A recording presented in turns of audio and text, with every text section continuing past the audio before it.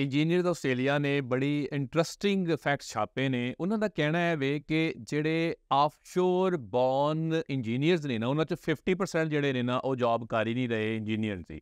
ਅੱਗੇ ਚੱਲ ਕੇ ਇਹ ਗੱਲ ਕਰਦੇ ਨੇ ਗਲੋਬਲ ਇੰਜੀਨੀਅਰਿੰਗ ਟੈਲੈਂਟ ਦੀ, ਜਿਹੜੀ ਇਹਨਾਂ ਨੇ ਕਿ ਰਿਸਰਚ ਰਨ ਕੀਤੀ ਸੀ, ਉਹਦੇ ਵਿੱਚ ਇਹਨਾਂ ਨੇ ਕੋਸ਼ਿਸ਼ ਹੈ ਕੀਤੀ ਕਿ ਇਹਨਾਂ ਨੂੰ ਇੰਜੀਨੀਅਰਸ ਨੂੰ ਪੂਲ 'ਚ ਕਿੰਜ ਲੈ ਕੇ ਆਣਾ ਹੈ ਅੱਛਾ, ਹੋਇਆ ਕੀ ਕਿ ਨਾਰਥਰਨ ਟੈਰੀਟਰੀ ਦੇ ਨਾਲ ਇਹਨਾਂ ਦੇ ਨਾਲ ਐਗਰੀਮੈਂਟ ਹੋਇਆ ਔਰ ਨਾਰਥਰਨ ਟੈਰੀਟਰੀ ਨੇ ਇਹ ਕਿਹਾ ਹੈ ਕਿ ਅਸੀਂ ਸ਼ੁਰੂ ਤੋਂ ਕੀ ਕਰਾਂਗੇ ਕਿ 20 ਐਸੇ ਇੰਜੀਨੀਅਰ ਜਿਹੜੇ ਓਵਰਸੀਜ਼ ਬੌਰਨ ਹੋਏ ਨੇ, ਉਹਨਾਂ ਨੂੰ ਟੇਕ ਅਪ ਕਰਾਂਗੇ। ਔਰ ਇਹ ਜਿਹੜਾ ਪ੍ਰੋਗਰਾਮ ਹੈ ਹੋਏਗਾ ਕੀ ਕਿ 6 ਵੀਕ ਦਾ ਜਿਹੜਾ ਇਹ ਕੋਰਸ ਹੋਏਗਾ, ਉਹਦੇ ਬਾਅਦ 12 ਵੀਕ ਦੀ ਪੇਡ ਇੰਟਰਨਸ਼ਿਪ ਹੋਏਗੀ ਕਿਸੇ ਇੰਜੀਨੀਅਰਿੰਗ ਕੰਪਨੀ ਦੇ ਵਿੱਚ। ਇਹ ਕਰਨਾ ਚਾਹ ਰਹੇ ਨੇ ਕਿ ਟ੍ਰਾਂਜੀਸ਼ਨ ਜਿਹੜੀ ਹੈ ਜਿਸ ਤਰ੍ਹਾਂ ਕਿ ਬਹੁਤ ਸਾਰੇ ਇੰਪੈਡੀਮੈਂਟਸ ਹੁੰਦੇ ਨੇ ਇੰਜੀਨੀਅਰਸ ਵਾਸਤੇ ਉਹਨਾਂ ਨੂੰ ਅੱਗੇ ਲੈ ਕੇ ਆਣਾ ਚਾਹ ਰਹੇ ਨੇ।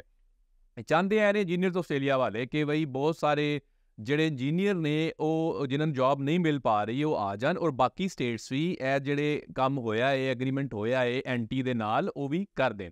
ਅੱਗੇ ਚੱਲ ਕੇ ਇਹਨਾਂ ਨੇ ਇਹ ਕਿਹਾ ਹੈ ਕਿ ਤਕਰੀਬਨ 47% ਐਸੇ ਇੰਜੀਨੀਅਰ ਨੇ ਜਿਹੜੇ ਜੌਬ ਕਰਨਾ ਚਾਹੁੰਦੇ ਨੇ, ਲੇਕਿਨ ਉਹਨਾਂ ਨੂੰ ਜੌਬ ਨਹੀਂ ਮਿਲ ਪਾਉਂਦੀ ਅੱਗੇ ਰਿਸਰਚ ਦੇ ਵਿੱਚ ਜਾ ਕੇ ਬੜੀ ਇੱਕ ਇਹਨਾਂ ਨੇ ਇੰਟਰਸਟਿੰਗ ਗੱਲ ਵੀ ਕੀਤੀ ਹੈ ਇਹਨਾਂ ਨੇ ਇਹ ਕਿਹਾ ਹੈ ਕਿ ਬਹੁਤ ਸਾਰੀ ਐਸੀ ਕੰਪਨੀਆਂ ਕੌਨਸ਼ੀਅਸਲੀ ਔਰ ਅਨਕੌਨਸ਼ੀਅਸਲੀ ਬਾਇਸਡ ਨੇ ਮਾਈਗ੍ਰੈਂਟ ਇੰਜੀਨੀਅਰਸ ਦੀ ਤਰਫ। ਇਹ ਬਹੁਤ ਵੱਡੀ ਸਟੇਟਮੈਂਟ ਹੈ ਇਹਦੇ ਇਲਾਵਾ ਇਹਨਾਂ ਨੇ ਇਹ ਗੱਲ ਕੀਤੀ ਕਿ ਤਕਰੀਬਨ 1 ਲੱਖ ਐਸਾ ਇੰਜੀਨੀਅਰ ਹੈ 1 ਲੱਖ ਇੰਜੀਨੀਅਰ ਨੇ ਜਿਹੜੇ ਕਿ ਉਬਰ ਚਲਾ ਰਹੇ ਨੇ, ਕੋਈ ਹੋਰ ਕੰਮ ਕਰ ਰਹੇ ਨੇ ਤੇ ਕਿਸੇ ਤਰ੍ਹਾਂ ਦੀ ਇੰਜੀਨੀਅਰਿੰਗ ਦੀ ਜੌਬ ਨਹੀਂ ਕਰ ਰਹੇ। ਉਹਨਾਂ ਨੇ ਕਿਹਾ, ਅਗਰ ਐਂਜੀ ਚੱਲਦਾ ਰਿਹਾ ਤੇ ਇਹ ਬਹੁਤ ਵੱਡਾ ਕ੍ਰਾਈਸਿਸ ਹੋ ਜਾਏਗਾ।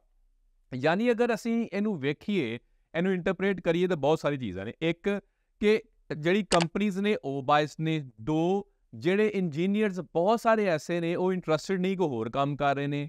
ਤਿੰਨ, ਬਹੁਤ ਸਾਰੇ ਇੰਜੀਨੀਅਰ ਜਿਹੜੇ ਨੇ ਜੌਬ ਲੱਭ ਰਹੇ ਨੇ, ਉਹਨਾਂ ਨੂੰ ਨਹੀਂ ਮਿਲ ਰਹੀ ਜਾਂ ਔਰ ਚਾਰ ਹੈ ਕਿ ਉਹਨਾਂ ਦਾ ਸ਼ਾਇਦ ਉਹ ਸਟੈਂਡਰਡਸ ਨਹੀਂ ਨੇ ਜਾਂ ਲੋਕਲ ਉਸ ਤਰ੍ਹਾਂ ਐਕਸਪੀਰੀਅੰਸ ਨਹੀਂ ਹੈ ਕਿ ਬਹੁਤ ਸਾਰੀ ਕੰਪਨੀਆਂ ਉਹਨਾਂ ਨੂੰ ਹਾਇਰ ਕਰ ਸਕਣ।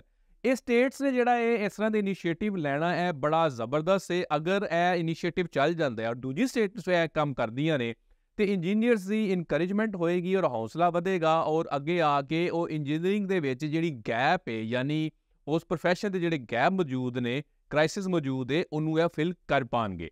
Follow for more thank you